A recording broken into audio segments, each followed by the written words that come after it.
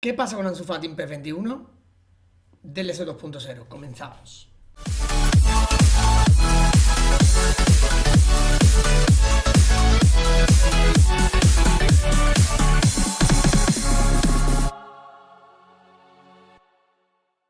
Es amante de los videojuegos, Trust Game es tu página, tu tienda de confianza.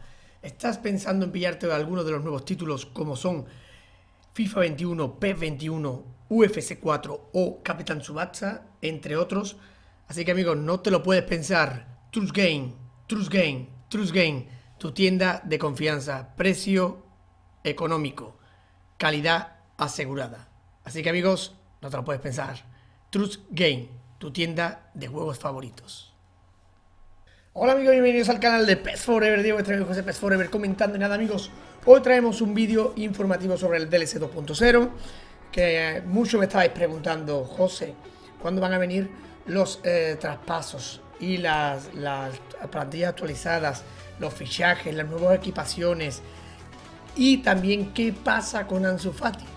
Si ya tuvimos problemas en el P20 que tuvimos que recurrir a Option File para recuperarlo, que en este P21 es imposible, ¿Qué pasa con Ansu Fati? Todo el mundo me lo pregunta. ¿Cómo Fati, uno de los jugadores ahora mismo mundialmente más, con más proyección, incluso ha llegado a la selección española y tiene pinta de en el futuro, si sigue con esta proyección, ser titular en la selección eh, de España.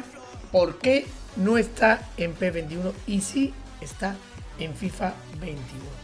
Espero que os aclare estas eh, dudas el vídeo del día de hoy. Suscríbete al canal, muy importante amigos. Sé que me veis muchos que no sois suscriptores y la verdad ayudaríais mucho al canal suscribiéndose. Así que amigos, no me quiero enrollar. ¿Qué pasa con Ansu Fati y DLC 2.0? Vendrá. Los vemos. Como sabéis, Ansu Fati, no sé el por qué. Bueno, sabemos más o menos el por qué, que ahora lo explicaré, pero en el día de hoy Ansu Fati ya es oficial, ojo, oficial jugador de la primera plantilla del Fútbol Club Barcelona. ¿Qué significa esto? Que antes era del filial, o sea, del equipo B, no del Barcelona, ¿no?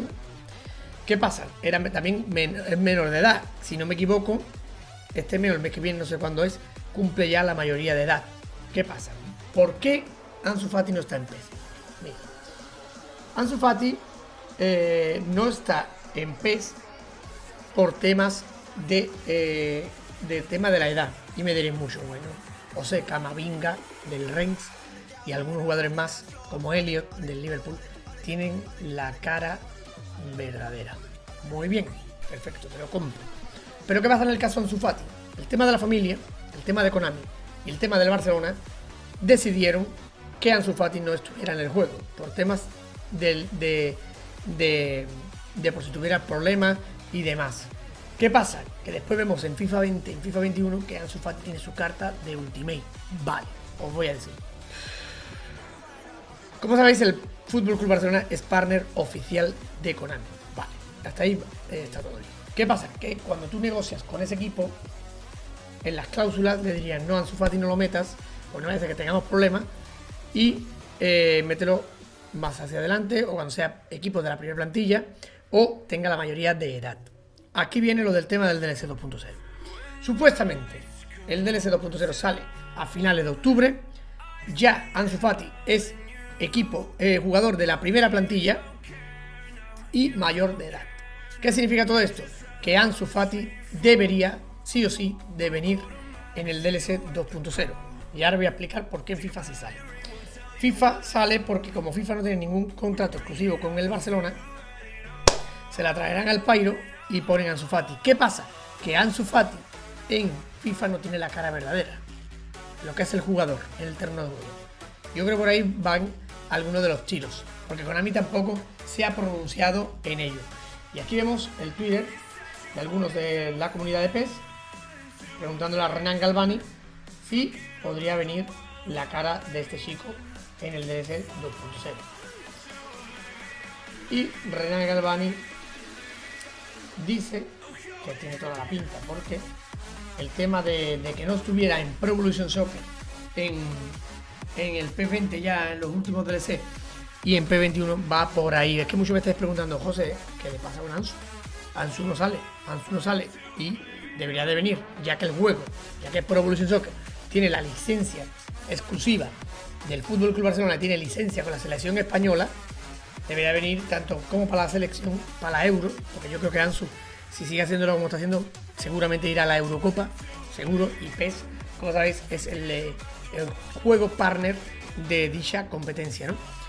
Pues bueno, amigos, a lo que vamos. En el DLC 2.0 tiene toda la pinta que va a venir Ansu Fati, debería venir la cara de Ansu, ese misterio que ya se sabe más o menos por lo que es, es por el tema de, derechos de imagen, tema de la familia y demás.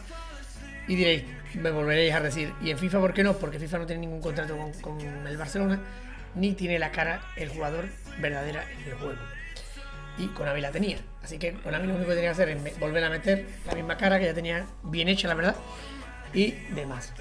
¿Qué pasa? El DLC 2.0, ¿qué debería de traer? Muy fácil. Debería de traer los kits actualizados de algunos equipos que todavía no están actualizados, las ligas al día 1 de los traspasos, como sabéis, muchos me estáis preguntando también, cuando es el mercado de traspaso, cuando el 5 de octubre. El 5 de octubre termina el mercado de traspaso, mercado de fichajes, como queráis llamarlo. Así que pasa que el DLC 2.0, como sabéis aquí en el canal siempre traemos información antes de que salgan todos los DLC, seguramente nada más que empiece el mes de octubre ya empezarán a venir, salir rumores y rumores casi muchos ciertos de que traerá el DLC 2.0. Lo primero que debe traer es lo que he dicho, plantillas, kit y más rostros nuevos. Entre ellos pedimos, Konami, si nos veis, pedimos el rostro ya de, Sergio Ramos. El rostro de Sergio Ramos y a Ronaldo quitarle la coletita y la cara de Ansu Fati. Eso mínimo debería de venir. Aparte caras nuevas, porque Konami lo que yo creo que tiene planteado como va a haber un cambio de motor gráfico en la nueva generación, pero este motor gráfico nuevo no va a ser como pasó en las veces anteriores cuando pasamos de PlayStation 2 a PlayStation 3 o de PlayStation 3 a PlayStation 4, que se perdieron muchas, muchas, muchas caras. Todas estas caras se van a aprovechar para el nuevo motor gráfico, modificándola, no sé cómo lo harán, pero toda esta cantidad de cara que ya tenemos en el juego, que es brutal, tendríamos para la nueva generación. Entonces Konami va a seguir sacando caras en este PES 21. También de cara a la Euro, así por eso digo que la de Ansu Fati tiene que venir sí o sí y más ya eh, haciéndose oficial en el día de hoy que es jugador oficial de la primera plantilla de Fútbol Club Barcelona. Ojo con un, eh, la cláusula de rescisión de 400 millones de euros, ya que Ansu tiene una pinta brutal. ¿Qué más? Eh, lo que hemos dicho, caras nuevas. Bueno, caras nuevas rumbo a la euro, rumbo a la euro. Que muchos me estáis también preguntando, José, ¿crees que Konami este año pueda sacar una modo clasificación de la euro? Debería, no creo, debería sacarlo, implementarlo, no sé, en, un DLC, en lo que sea. Porque ya sabéis que los juegos de hoy en día en los DLC cabe de todos los estadios y demás. Ojalá también, amigos, porque no soñar y que metan alguna licencia más. Que estabais viendo por las redes sociales como la Liga de Australia le estaba dando guiños a Konami. No sé si es que van a venir en futuro DLC o no, no se sabe. O en el próximo PES. ¿Qué más? Eh, ¿Qué más? ¿Qué más? ¿Qué más? Lo que hemos dicho, la cara de Ansu, caras nuevas, eh, plantillas totalmente actualizadas, kits nuevos que no se han metido todavía porque ya sabéis que todavía no hay ligas ni que han empezado o están empezando actualmente. Todo eso debería venir amigos el día 22 de octubre y ojalá amigos y no toquen la jugabilidad porque está para mí perfecta sobre todo en el offline porque online todavía resbala un poco. Así que amigos, espero que haya aclarado el tema de Ansu que me lo estáis preguntando. José, ¿qué pasa con Ansu? ¿Qué pasa con Fati? ¿Qué pasa con Fati? ¿Por qué no viene? ¿Por qué no viene? pues ya sabéis más o menos es la versión que se rumorea, porque Konami no ha dicho nada oficial, pero es lo que se rumorea por los eh, lares de la comunidad de PES, que es por tema de eh, que era menor de edad, no tenía licencia con la primera plantilla, o sea, era del equipo filial, y tema de padres, licencia, representantes, Barcelona, eh, Konami y demás. Así que como ya es jugador de la primera plantilla, debería de venir en el DLC 2.0 que saldrá. Si no lo sabéis, fecha del DLC 2.0 será el 22 de octubre, 22 de octubre, 22 de octubre. Como siempre, estaremos el 21 de octubre en directo mostrando todo el contenido del DLC y también ese día saldrá el juego de mobile, saldrá el PES 21 de mobile.